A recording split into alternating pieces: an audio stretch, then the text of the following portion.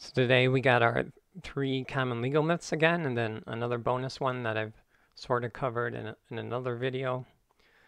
So the first one is it's okay to harass mediators and your opponent's legal team. So it is it is not.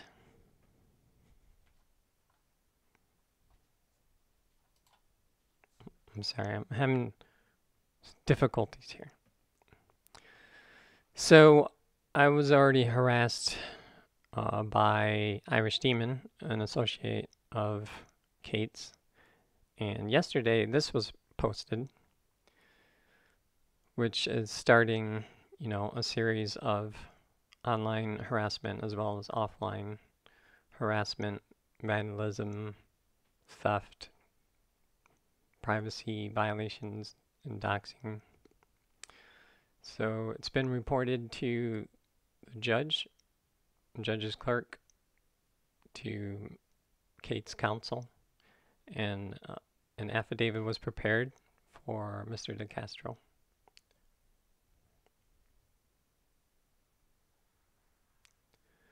Number two, you can't have John Doe parties in a civil suit. So I, I don't know where this one comes from. Like, someone's smoking something. If you just Google it, it's it's obviously not the first answer that comes up. So I don't know where this comes from. Yes, it's allowed. It's uh, definitely used a lot in automobile injury or any injury, right, where there's a child involved. You don't want to use the child's name. In fact, uh, in the Ninth Circuit federal court, they pretty much established that you have the right to your anonymity as a First Amendment privilege. And I don't know if Chille knows this. Maybe he does because of his John Doe filings. But a person that is anonymous online, their identity cannot be revealed unless absolutely necessary. In fact, the courts must pr protect their anonymity. So, where their identification would be necessary to serve them with summons or subpoena, that would be uh, allowed, but it would also should be done under seal. It's possibly why Mr. DeCastro is doing, Chille is doing his stuff under seal. So let's move on to the next one. It's okay for non-parties to delete relevant communication in an action. So it is okay for the non-party to delete it. It's not okay for the parties to allow it.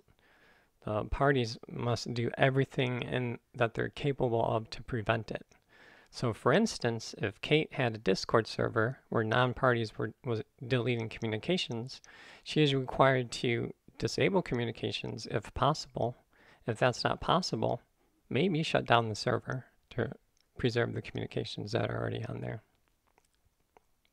Number four, a Discord server owner is protected by Section 230 of the CDA?